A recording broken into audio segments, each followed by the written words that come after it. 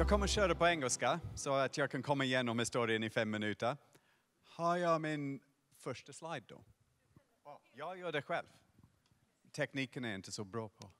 Ja, so how intelligent are the algorithms which claim to understand you? That's the question I'm going to look at today. And I saw about four years ago, there started to be these types of headlines in the news.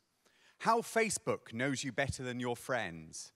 And this was based on a research project where researchers had found that looking at what people liked was where you were able to predict what type of personality they had. And the extreme of this was that Facebook knows you better than anybody else. I really wanted to test if these things can really be true. And I started where everyone should start if they want to do an experiment. I started with myself. This is my Facebook profile. And what I did is I took what my friends were posting about and I made a spreadsheet with every type of post they made and their names and how often they posted on these different things. And I used my skills in applied mathematics. I used a technique called principal component analysis to try and reduce my friends to two dimensions. And this was the result I got of my analysis. I found three different types of groupings of people. This is a grouping probably some of you know. They're the all work, no play grouping. They're the type of people who post that they've maybe been to a conference like this one, workshops that they've been in, everything to do with work. Then there's another grouping. You might know them on Facebook. They're the I think that grouping. They're the people who post about news, they post about Brexit, they post about politics, they post about sport, and they give your, their opinion about these things. Then finally, these are ones that you definitely know. These are the here I am people. These are the ones who post pictures of their dinner, pictures of their children, everywhere they've ever been on holiday, everything about themselves. And what's interesting here is that we can reduce or this algorithm, the principal component analysis, can reduce everybody on Facebook, or it can reduce my friends in any case, to these three categories. And you recognize these categories. So, in that sense, an algorithm really can understand you. And this is what Facebook use. They take the 2 billion people who use their service, they take the 100 of million things that they like, and they use principal component analysis to reduce it down to 10,000 advertising categories. I've just got a few of these advertising categories because I think they're a bit fun. There's about 60 million people who Facebook classify as liking the British royal family.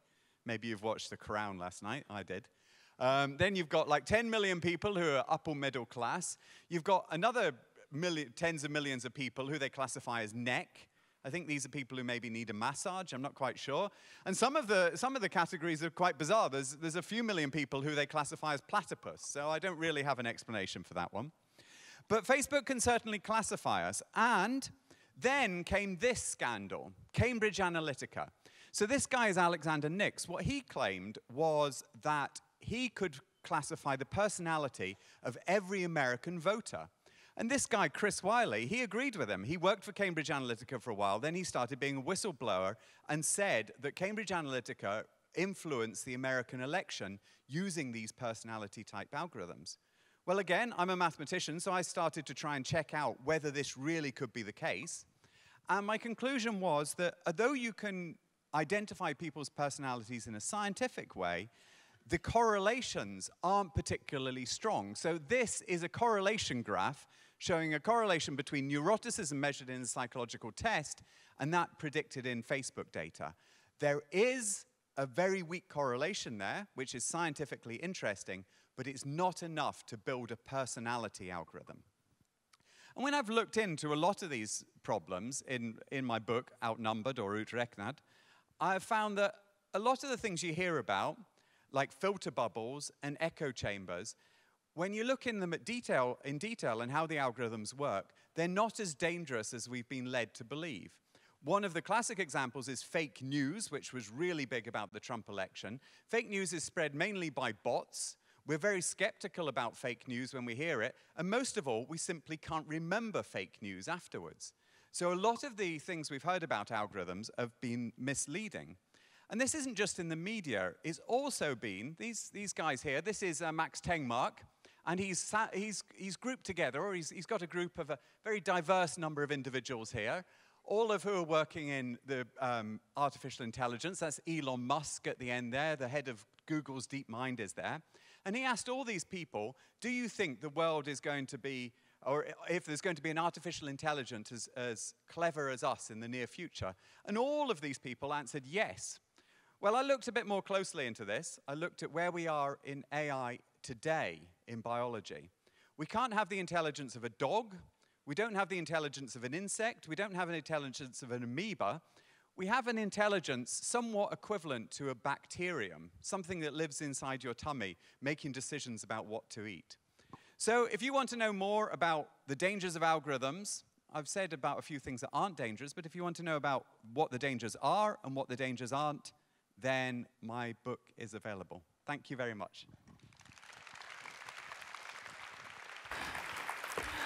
I will not let you leave the stage before you tell us something about what we should really be worried about. Right. So I've heard, I've heard a few speakers talk about this today. The stuff to do with sexism and racism are very important problems and bias in AI because we train AI on data.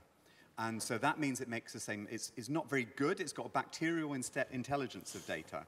So when it's trained on a lot of texts in Wikipedia and news articles, it makes mistakes of basic sort of sexist, racist mistakes. And so I look at that a lot in the book, but mainly we should be worried about that type of uh, both bias and also when it just gets things wrong, when it tells, when it says that people should spend longer in prison because it's just based on some algorithm which hasn't actually thought through and, and recognized the person.